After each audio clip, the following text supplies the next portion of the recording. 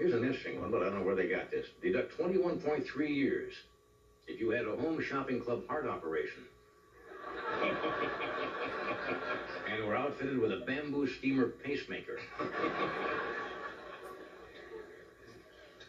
Subtract five years if you smoke 10 cigarettes a day. Wow. Well, here's another one. Subtract 10 years if you don't smoke, but your wife found Motel 6 matches in your pocket. now, here's an interesting, you have to be on honesty reduces stress. Did you know that? So I'm going to ask you here, if you love tonight's monologue more than life itself, applaud now.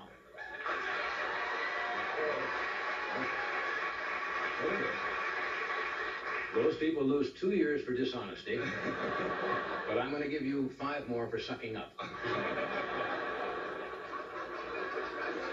Deduct 70 years from your life if you've ever been eaten by a large animal. Subtract four years if your house is situated directly from the, across from the exhaust fan of an Italian restaurant. Subtract 15 years if you live in New Jersey and your nickname is the Squealer.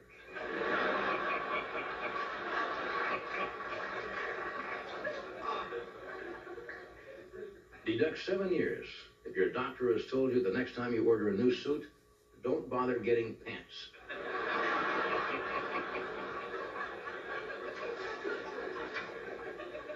Deduct 16 years. This is this is a frightful one here. Deduct 16 years if you're sentenced to prison, and 10 guys give you the nickname Bunk Muffin.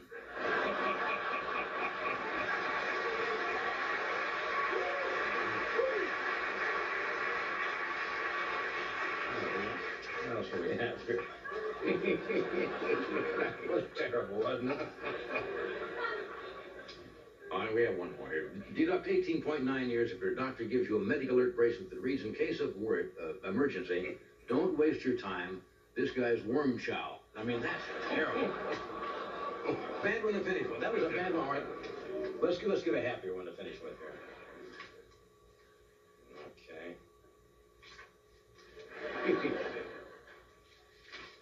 If Dan Quayle is your vice president, add four years to your life. All right, here we're, we have, we got to go up with a real stunner, don't we? Yep. Biggie.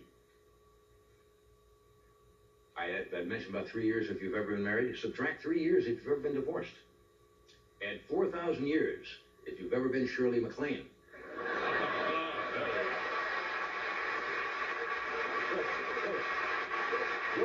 We'll be back